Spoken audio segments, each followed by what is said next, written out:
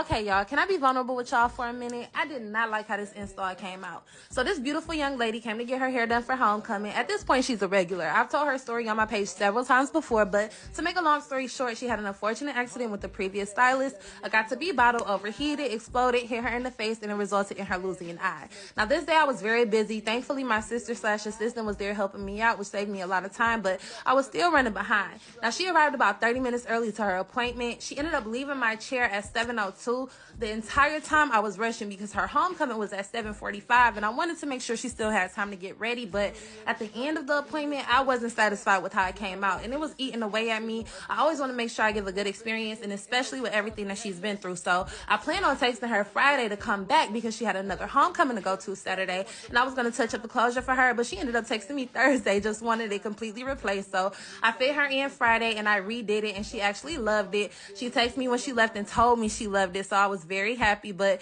this is the result from the first one. Let me know if you want to see how I fixed it. She's gorgeous. And as always, I love you. Bye.